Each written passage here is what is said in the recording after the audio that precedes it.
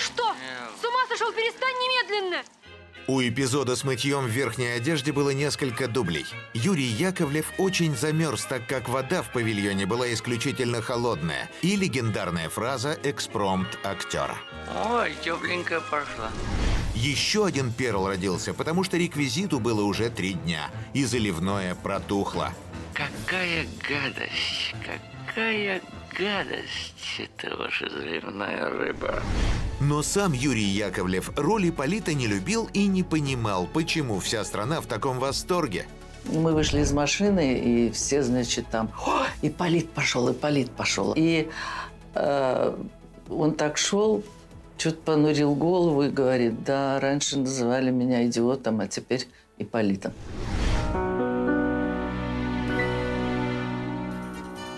А все-таки кто вы такой, а? Аз есть царь. В это трудно поверить, но Юрий Яковлев мог не получить эту роль в гениальной комедии Гайдая. Гайдай видел в роли а, Пунша и а, царя Ивана, Ивана Грозного Юрия Никулина. Но Юрий Никулин себя совершенно не видел в, обра- в образе а, царя. И специально под него напис- написанная роль оказалась а, им не востребована. Привет Никулину послали в сцене с режиссером Якиным. Не узнаю вас в гриме. Кто вы такой? Сергей Бондарчук? Нет. Юрий Никулин. На роль Ивана Грозного и управдома Бунши пробовались Евгений Лебедев, Георгий Вицин и Евгений Евстигнеев. Но Евстигнеев решил, что она ему не подходит, и от съемок отказался. И тогда Гайдай решил рассмотреть кандидатуру Юрия Яковлева. На колени, червь! Иван Васильевич стал лидером проката 1973 года. Блестящую комедию посмотрели более 60 миллионов советских граждан. Танцуют все! Юрий Яковлев имел высокое звание народного артиста Советского Союза. Но получить его, несмотря на все заслуги, не мог очень долго. Ему показали те анонимки, которые на него писали. Написали, что он и двоеженец, и алкоголик. Все это сказывалось на а, решении о присуждении ему звания народного артиста. Москва, 3 декабря 2013 года. Гроб стоит по центру сцены Академического театра имени Вахтангова, в котором Юрий Яковлев прослужил 61 год. Море цветов и венков отважных лиц. Зал полный. Он сказал, знаете что, я вот даже хотел бы и на сцене умереть, потому что поверье есть актерское. Тот, кто на сцене умирает, актер, сразу в рай попадает. Звучит музыка и голос Юрия Яковлева. Он читает стихи Марины Цветаевой. Мы вспоминаем тихий снег, когда летней ночи. И больше не звучало ничего. Не было ни одной торжественной речи. На этом настояли близкие актера. Я помню, что э, министр культуры тогдашний, он долго искал, а где микрофон, чтобы я сказал какие-то слова. Говорит, не надо. Как не надо? Никаких фальшивых речей, никаких чиновников, никаких микрофонов. Юрий Яковлев считал своей лучшей ролью Стиву Облонского, брата Анны Карениной. Главное, что ты приехала. Ты даже представить себе не можешь, как я надеюсь на тебя. Стива Облонский очень похож на знаменитого актера. Бесконечно обаятельный, умный и очень любвеобильный мужчина, который не мог хранить верность. Стива Облонский мне э, близок. Во-первых, он много грешил. Вот, и также много каялся. Грешил и каялся. Грешил и каялся. У него было все, что так нравится женщинам. Привлекательная внешность, чарующий голос и великий талант. У Юрия Васильевича была какая-то невероятная мужская харизма, совершенно фантастическая. Причем она а, это сочетание колоссальной мужественности с какой-то а, потрясающей мягкостью. Вот это сочетание, мне кажется, вот именно это было его оружием в покорении многих-многих женских сердец. Но были женщины, которые отвергли актера. На съемках фильма «Идиот» он увлекся Юлией Борисовой. Я вас, Настасья Филипповна, я вас Я умру за вас. Конечно, ему победить, захватить такую девушку, такую, это было очень интересно. Юлия Борисова была звездой Вахтанговского театра. Они много лет работали вместе. Но она осталась к нему как к мужчине равнодушна, несмотря на всеобщее обожание актера в театре.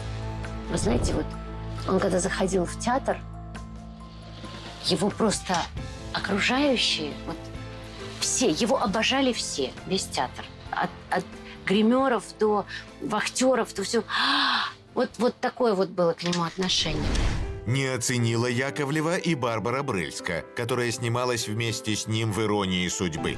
Он ухаживал изящно, красиво, но заграничная актриса потом не раз рассказывала, что просто не выносила партнера, и ей было очень противно с ним целоваться. Это, конечно, был его облом. Он был весьма обескуражен, то, что его чары, его монологи, его, э, это все как-то не подействовало. Ну, вот как-то вот Барбара казалась крепким орешком. Юрий Яковлев – москвич. Родился в 1928 году в интеллигентной семье. Отец был юристом, мама работала медсестрой в Кремлевской поликлинике. Плюс ко всему, оба э, родителя были из э, так называемых бывших. Э, отец был сыном обувного заводчика, а мать была дочерью купца, владевшего маслобойным заводом в Тамбове. В страхе, что их посадят в тюрьму, как недобитых буржуев, родители Юры развелись. И жил мальчик с мамой, а отец приходил к ним в гости. Люди должны были как-то скрываться, как-то все время умалчивать свою автобиографию. Когда началась война, Юра был еще подростком, но рвался на фронт. Семья оказалась в эвакуации в Уфе. Были у него там и коллекция солдатиков, какие-то марки. Но когда пришлось ехать в эвакуацию, пришлось их выменить. Солдатики ушли, по-моему, за бутылку подсолнечного масла, а коллекция его марок, по-моему, за ведро картошки. Мама работала в местном госпитале, а Юра устроился рассыльным. И всю жизнь потом вспоминал, как однажды у него развалились ботинки и почту пришлось разносить босиком. Где-то лет через 50 он вернулся в этот город с концертами в том самом здании, по ступенькам которого он ходил босыми ногами. А, он рассказал эту историю, и э, банк его отблагодарил, подарил ему э, замечательную пару обуви. В полуразрушенную столицу они вернулись в 43-м. У Яковлева была дистрофия. Во многом она в дальнейшем даже сказалась на э, его внешности, как он сам шутил. Э, аристократические впалые щеки мне достались наследство от Великой Отечественной войны. Я до сих пор не понимаю, почему же я все-таки посвятил себя в этой профессии. Этой профессии потому что я человек весьма стеснительный. Родители Юрия Яковлева очень хотели, чтобы их интеллектуальный мальчик учился в МГИМО и стал дипломатом. А он вдруг заявил, что хочет быть актером. В доме э, родители были против, э, значит, семья вся была против. Юрий сдал документы в Авгик и с диким треском провалился. Члены приемной комиссии заявили, что у него неудачная внешность. Не приняли суд кинематографии из-за того, что я кинопробу не прошел. Оказался не киногеничен. И народного артиста Советского Союза взяли и вышивали из ВГИКа. До этого Яковлев уже пытался сниматься в кино. Пробовался на небольшую роль в киноленте «Тимур и его команда», когда ему было 13 лет. Его попросили надкусить яблоко, сказать «кислятина», что-то такое. Ну, в общем, пробу он не прошел. Это была бы колоссальная потеря. И слава богу, что он пошел в Щуку. В Щукинском училище в приемной комиссии заседал молодой Владимир Этуш. Он был актером театра Вахтангова и рано стал педагогом.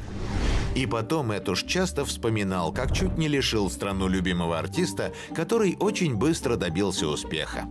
Сказал ему, знаете что, молодой человек, вас ждут заводы вам лучше не заниматься этим делом. В это трудно поверить, но в ГИК и ГИТИС не приняли в свое время Юрия Никулина, дважды не взяли в театральные вузы Алексея Петренко, не приняли в Щукинское училище Савелия Крамарова, Инна Чурикова провалила экзамены в училище имени Щепкина, а потом в школу-студию МХАТ. Увы, так происходит, что э, преподаватели театральных институтов, пусть не обижаются, это в, основном артисты и режиссеры, которые не сумели, что называется, пленить зрителя своим талантом. И они идут в педагоги. Естественно, некая ревность присутствует. А что вы так на меня смотрите, отец родной? На мне узоров нету и цветы не растут. Гениальный партнер Яковлева в Иван Васильевиче, Леонид Куравлев, поступил в Авгик только с третьего раза. А Юрия Яковлева взяли в «Щуку» благодаря Цицилии Мансуровой.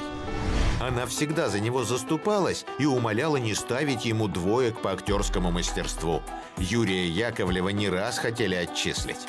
Представляете, что было бы, если бы мы тогда лишились такого актера, как Яковлев, если бы не она. Но в итоге Юрий Яковлев стал одним из лучших студентов «Щуки», и его единственного с курса пригласили на работу в театр Вахтангова, в котором он служил потом до конца своих дней. Юрий Васильевич был замечательный артист, редкий артист, с редким, редким материалом, очень дефицитным. Он много сыграл интересных ролей, но было очень много юмора. Эти слова Владимир Эдуш произнес в день смерти Яковлева. Сам он проживет еще шесть лет. И тоже до последнего будет выходить на сцену. А через пару лет после смерти Этуша в мир иной уйдет последний символ театра – Василий Лановой. У театра Вахтангова по, реш... по решению а, мэрии и театра должен становиться тройной а, памятник а, Этушу, а, Лановому Яковлеву. Это три человека, которые и являются образом театра Вахтангова.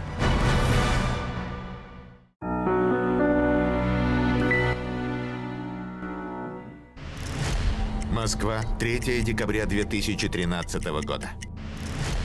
Театру Вахтангова трудно подойти. В нем прощаются с обожаемым всей страной актером. Юрий Яковлев прожил 85 лет. Арбат был заполнен людьми. Весь Арбат, который прилегал к театру, далеко-далеко до метро было видно. Миллионы людей обожают и цитируют бесподобные цитаты из комедий, в которых снялся Юрий Яковлев. Царь. Очень приятно. Царь. Очень приятно, царь. Очень приятно. Здравствуйте, царь. Поскольку я телец, я очень влюбчив и очень ревнив всегда был. Первый раз Юрий Яковлев женился, когда ему было 24 года. Кира Мачульская была врачом, уже побывала замужем за академиком Юрием Лопухиным. Их звали Ромео и Джульетта. Очень они, наверное, были как-то близки и э, ну, настоящая любовь была. Когда они познакомились, у Киры был жених, перспективный режиссер Владимир Венгеров, и была назначена дата свадьбы. А Яковлев только закончил театральное училище и был никому неизвестен. Но Кира о женихе забыла быстро. В одной руке кинжал, в другой руке отрава. Но убивать себя я не имею права. В год женитьбы на Кире Мачульской Яковлев снялся в первых трех картинах. Роли были небольшие, но режиссеры его заметили. Но своего жилья у Яковлева не было. Зарабатывал он немного. Жили за шкафом у родителей Киры. И она заболела туберкулезом. Долго лежала в больнице. Потом он выхаживал любимую дома. Он приходил, помогал, я говорю, во многом благодаря она выздоровела ему. У супругов родился сын, но ребенок заболел желтухой и умер. Кира тогда чуть не сошла с ума, ведь одного ребенка она уже потеряла в предыдущем браке. Мне показалось, что у Юрия Васильевича, как у любого молодого мужчины, наступил такой момент, когда он просто устал. Он устал от этих ужасных условий, от этого быта, от болезни, от своей м, заботы. И когда у него начался такой волшебный роман с Екатериной Райкиной, Левый! Хорошо идет. Ему было 30, ей 20. Они вместе играли в театре Вахтангова в спектакле «Дамы и гусары». Роман закрутился на гастролях в Болгарии. Но Катя тоже была не свободна. Совсем недавно вышла замуж за Михаила Державина. Юрий Васильевич настолько околдовывал, что за ним, знаете, как за дудочкой крысы за крысолом, женщины как-то уходили из семей. Жена Яковлева чувствовала перемены в отношении к ней супруга. Но так сложилось, что она забеременела, и артист попал в очень сложную ситуацию. Жена и любовница родили детей от Яковлева с разницей в 4 месяца. Сначала на свет появилась дочь от Киры Мачульской, Алена, и чуть позднее сын Алексей от Екатерины Райкиной. Я отдельно выросла, отдельно. И даже а потом, э, когда мы стали уже общаться, и все, но я не смогла его до конца понять. Вот мы как-то... Многое осталось недоговоренным. Это могла быть банальная история, когда мужчина мечется, не может сделать выбор, а официальная супруга терпит и ждет, когда этот ужас кончится. Но Кира сказала Яковлеву, что подает на развод. Мама так сказала одну такую фразу, она говорит, а я просто не понимаю, как потом. Вот я не понимаю, вот я просто не знаю, как мне потом с этим человеком э, общаться. Райкина Катя! Екатерина Райкина была дочерью звезды советской эстрады, и Аркадий Исакович обеспечил ее и деньгами, и квартирой. И была совершенно другая жизнь. Не за шкафом. Ему ничего не хотелось. Просто была молоденькая девочка рядом, у которой был папа, у которой жила в гостинице «Москва», у которых было застолье и море интересных людей. Спустя годы Яковлев говорил, что сожалеет о многих своих поступках и, конечно, о том, как обошелся с первой женой и дочкой. Жалею, что я э, доставлял какие-то неприятные минуты моим близким. Это мне всегда было неприятно, что я доставлял только огорчительных минут. Это мне было больно. С дочерью от Киры Мачульской Аленой он стал близко общаться, когда она уже стала взрослой. А первый раз увидел ее через два месяца после рождения. Встречать Киру из роддома он не пришел. Никакого интереса к этому ребенку у актера не было. Я никогда об этом не говорила. Я могла, опять-таки, сокрушаться по этому поводу внутренне, там, болеть или кому-то, может быть, даже об этом сказать. Но, но вот папе я никогда об этом не говорила. Яковлев помогал Кире Мачульской финансово, но не думал о том, что маленькой Алене очень нужен папа, хотя бы иногда. Это абсолютно не красит мужчины. Да, это твой ребенок, конечно, он нуждается в отце, даже не так в твоих э, деньгах и прочем, как просто во внимании. Алена Яковлева не раз признавалась в том, что поступок отца, который просто их бросил с мамой, всегда ее мучил и мешал построить счастливую семейную жизнь. Актриса дважды выходила замуж, и оба брака кончились разводом. Это очень передается на всю оставшуюся жизнь, к сожалению. Для меня вот это самое, э, ну как, для моей жизни это печально. Потому что я пришла уже, я, я не- очень, никогда не доверяла мужчинам.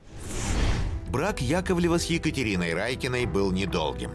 Аркадий Райкин полюбил нового зятя, был готов оказывать семье дочки любую поддержку, но сумасшедшая любовь прошла, и Катя страдала. Яковлев пропадал на съемках, и до нее доходили слухи, что он не отказывает себе в коротких романах. А самым грустным было его пристрастие к спиртным напиткам. Екатерину страшно обижало то, что видит она вечно занятого мужа редко, а когда они наконец встречаются, от него ужасно разит алкоголем. Все любили ночные заседания, выпивание, возлияние. И это, конечно, переходило в долгие застолья. Юрий Яковлев относится к редкой породе артистов, которые смогли очень долго сочетать непомерное употребление спиртного с невероятно напряженным графиком работы. Выдерживают такие нагрузки, играть столько спектаклей, сниматься столько в кино, при этом выпивать, не спать, вести романы свои, так сказать, э, это надо обладать колоссальным здоровьем. Многие артисты пали на этом пути. Но Екатерина смириться с этим не смогла. Они все чаще ссорились, и точку в браке поставила страшная авария, в которую они попали по вине актера, который был, как говорится, не в форме. И вышло так, что он заснул за рулем на секунду. И этого было достаточно, чтобы они а, попали в аварию. То есть вот так вот он катился с крыши на колеса и дальше вот в, в кювет. Юрий Яковлев сломал ключицу. У Екатерины были ушибы и порезы по всему телу. Больше пьянства мужа она терпеть не стала. Инициатором развода была Екатерина Аркадьевна Райкина, потому что вот произошедшая вот эта авария, это, видимо, уже оказалось последней точкой кипения. Фильм «Ирония судьбы» или «С легким паром» – очень важная часть новогодних праздников, как елка, подарки, салат оливье. У нас пропал дух авантюризма. Мы перестали лазить в окна к любимым женщинам. Мы перестали делать большие хорошие глупости. Но изначально Эльдар Рязанов хотел, чтобы Ипполита сыграл Олег Басилашвили. И внимательные зрители сразу разглядели киноляп. Когда героиня Барбары Брыльски поднимает фотографию Ипполита из сугроба, на ней Басилашвили. Этот снимок остался с проб. Но у Басилашвили умер отец, сниматься он не мог. И тогда жена Рязанова, Нина Скуйбина, посоветовала мужу позвать Юрия Яковлева. Напомнила, как он был хорош в другой картине режиссера – «Гусарской балладе». Над нами слава дымом веет, И мучит только, мучит только нас одно. Сердца без практики ржавеют. Давным-давно, давным-давно, давным-давно. Яковлев сыграл грандиозные роли на сцене театра Вахтангова, которые вошли в историю русской культуры. Оскорблять можно честного человека и честную женщину. Но сказать вору, что он вор, есть только констатацион d'enfait. А роль поклонника Нади – это ерунда, считал народный артист Советского Союза. Это так левой ногой для такого мастера можно сделать.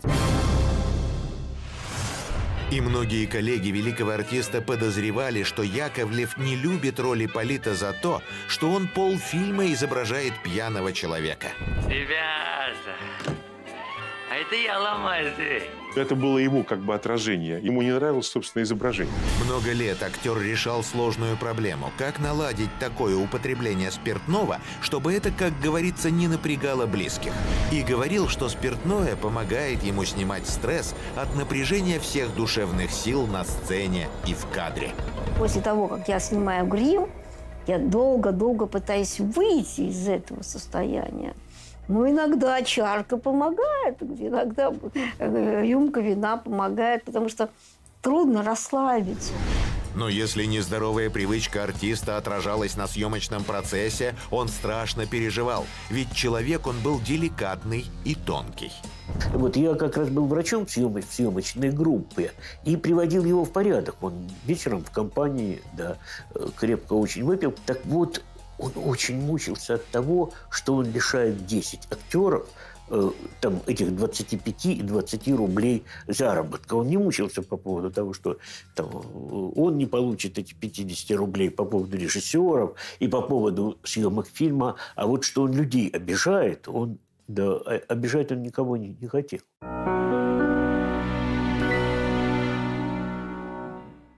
Спасибо тебе, Георгий. Я расскажу народу, что видел тебя. Первый раз на экране Яковлев появился в 1953 году. Фильм «Великий воин Албании Скандербек» сейчас никто и не помнит. Это был такой э, пропагандистский фильм, фильм, снятый с таким вот уже э, последним сталинским пафосом.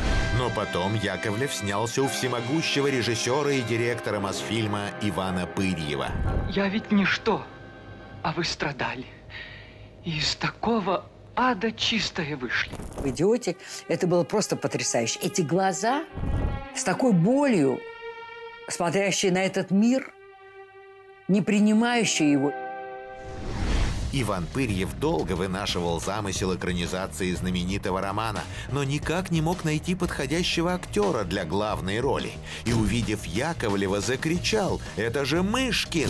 И ходила легенда, что режиссер на коленях умолял молодого актера согласиться на эту работу. Я не верю, что он а, упал перед Яковлевым на колени, но то, что он а, ценил невероятно Юрия Васильевича, это сто процентов.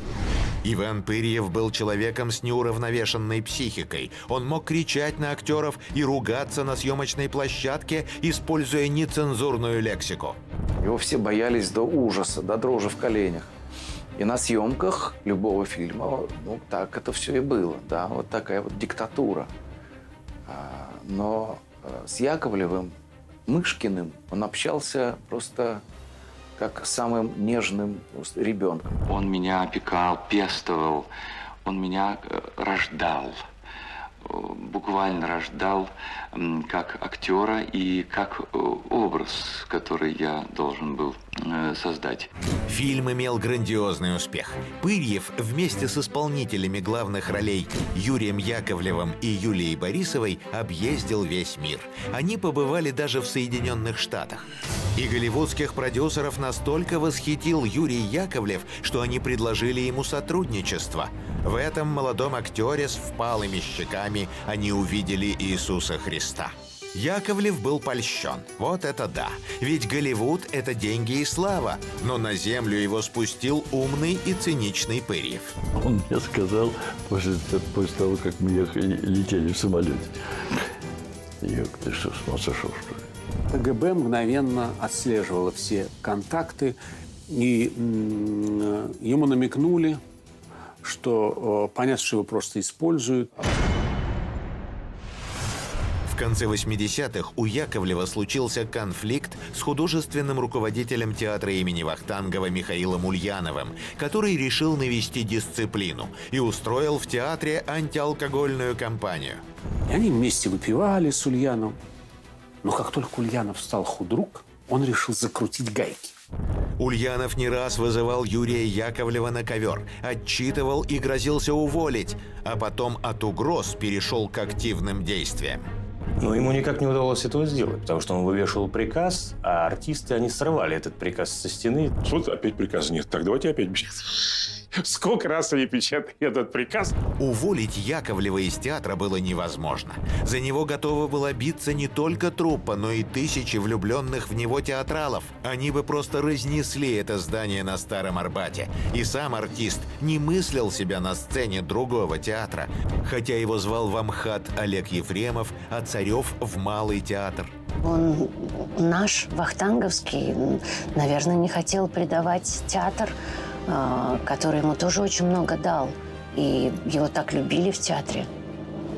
Я его абсолютно понимаю. Москва, 3 декабря 2013 года. Юрий Яковлев никогда про смерть не говорил, но как-то дал понять своим близким, какой видит гражданскую панихиду, когда его не станет. Он очень боялся речей у гроба.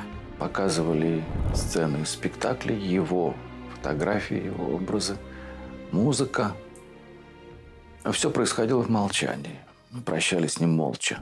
Рядом с гробом на сцене в первом ряду сидели его дети, внуки и последняя жена Ирина.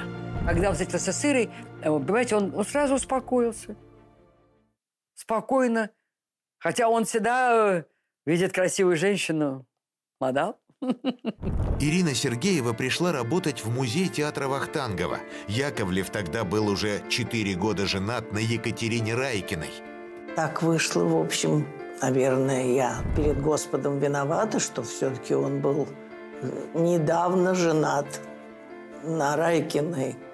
И, в общем, а, я же не ставила себе целью уводить его или э, понравиться ему. В фильме «Карнавал» Юрий Яковлев сыграл отца главной героини, который бросил ее в детстве, уехал в Москву, там снова женился и про дочь забыл.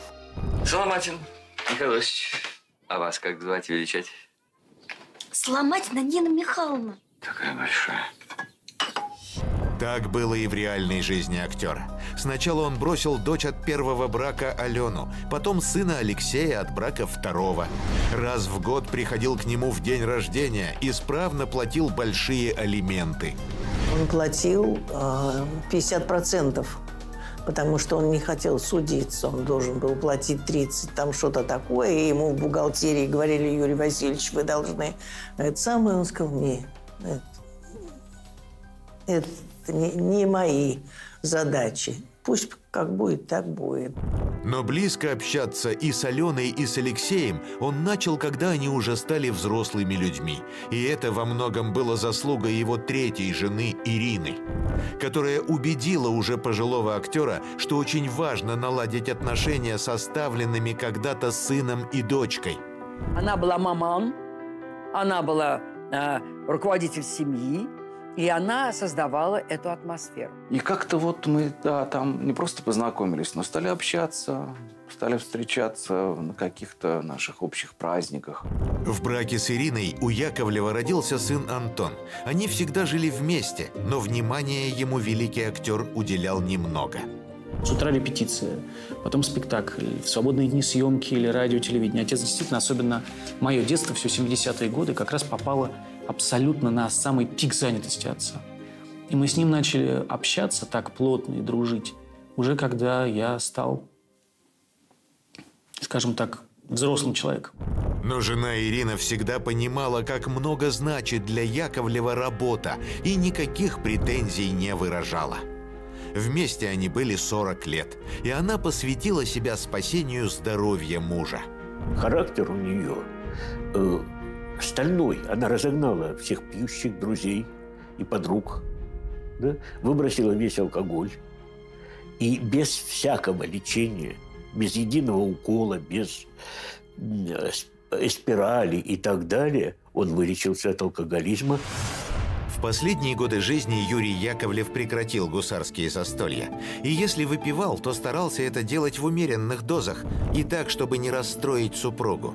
Я когда с ним сидела, вот, э, мы сидели, выпивали, закусывали, и, и он говорит, только Ирке не говори, что ему нельзя было уже выпивать, и так далее, и так далее. И он хитрил, конечно. У актера всегда было очень требовательное отношение к профессии. Ни одной неудачной роли в кино, ни одного проходного спектакля. В нашей профессии есть одна очень тонкая и больная вещь нужно уметь в себе найти э, силы и мужество вовремя уйти со сцены. У актера часто двоилось в глазах. Проживать чужие судьбы на сцене становилось все труднее. Ну, это ни, ни для кого не секрет, что сцена продлевает жизнь. А, вопрос, э, хватает ли здоровья и самообладания э, вовремя уйти. Был эпизод, когда Юрий Васильевич сказал «все», когда там, он забыл текст сказал, все, хватит. Последнюю роль он сыграл в спектакле «Пристань», и это было на пределе сил артиста. Физически Яковлеву было очень тяжело. Но он вообще мог просто молча стоять на сцене, и зрители бы были в полном восторге. Не забуду я все. Вспомню только вот эти полевые пути меж колосьев и трав. Прощался со своим зрителем. Это было так пронзительно, и э, я помню, что ну, зал всегда плакал, когда заканчивался этот фрагмент, в котором играл Юрий Яковлев. И мы понимали, что этот большой корабль уплывает в вечность.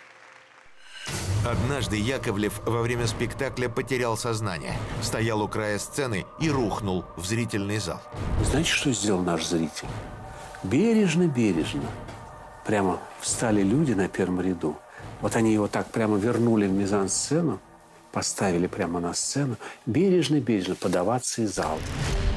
Москва, ноябрь 2013 года. Юрий Яковлев долго не обращался к врачам, но после очередного обморока в ноябре 2013 года согласился лечь в Центральную клиническую больницу. У него начались проблемы с сердцем то есть ишемическая болезнь сердца. Поначалу прогнозы врачей были оптимистичными. Жене Яковлева сказали, что в больнице актер пробудет недолго, но актеру нужен покой.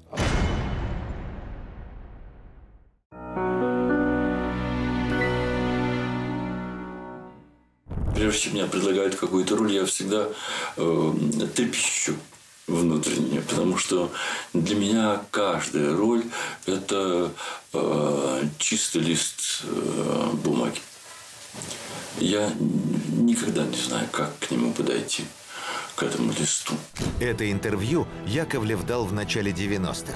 И с таким отношением к делу ему было очень тяжело вписаться в новые правила кинопроизводства. Потому что уровень кино в 90-х как-то стал пониже. Мне кажется, что вообще очень мало кино тогда снималось. Не до кино было стране. А все, что снималось, было такое. Яковлев снимался в 90-е мало. Но, как и многие другие великие артисты, все-таки не смог уберечься от ролей, которых страшно потом стеснялся. Чего только стоило одно название картины «Супермен по неволе» или «Эротический мутант».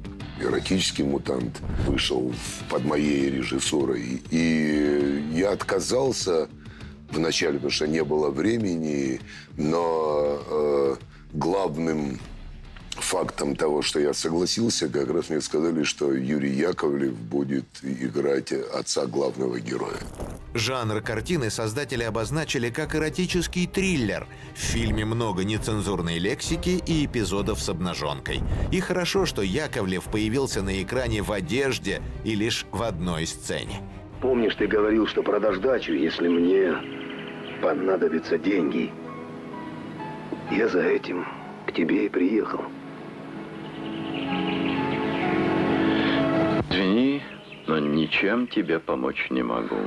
Ну, это был коммерческий фильм э, после 90-х годов, э, когда разрешили снимать всем кому угодно, и через кино просто делались деньги, отмывались деньги. Последней ролью в кино стал Ипполит в продолжении легендарной «Иронии судьбы». У нас с Надей замечательная дочь. А вы просто неудачник. Вас здесь никто не ждал. Так что до свидания.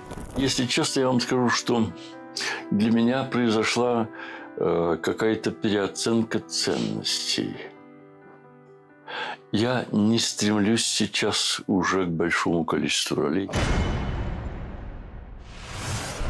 В 90-е одна компания выпустила водку, на которой была этикетка с артистом в образе царя. Там был кадр из «Иван Васильевич меняет профессию», где Яковлев в образе Ивана Грозного. Когда Яковлев это посмотрел, он, он, он был возмущен.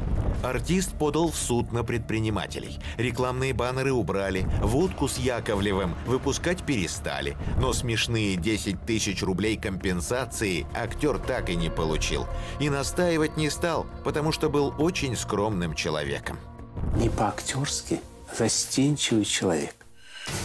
И эта скромность и деликатность отняли у него несколько лет жизни. Ушел он из-за этого раньше. Москва, 29 ноября 2013 года. Юрий Яковлев лежал в ЦКБ и вечером 29 ноября 2013 года не притронулся к ужину. Сказал, что ему ничего не хочется. Ему было плохо, но он постарался отвлечься. Взял Чехова, попробовал читать, но строчки расплывались. К ночи ему стало гораздо хуже. Но он не стал беспокоить медицинский персонал. Не стал никому ничего говорить, как-то лежал так спокойно, таблеточку выпьет. И не хотел никого беспокоить, не хотел никого напрягать. Ушел во сне. Ну, там пробовали, пытались, естественно, ре- реанимировать, но, к сожалению, это уже было невозможно. Москва, 3 декабря 2013 года. В конце гражданской панихиды по Юрию Яковлеву занавес на сцене закрылся. Он был на ней в последний раз. Потом при выносе, конечно же, аплодисменты долгие по традиции, как бы актерской. Последние, последние аплодисменты в, в прощальный путь. На Новодевичье кладбище он отправился под громкие крики «Браво!». Любовь к нему была бесконечна. Счастье, что он был, счастье, что он у нас у всех был, конечно же. Я говорю об этом ну, не только потому, что его сын. волшебный, конечно же, волшебный артист, сказочный.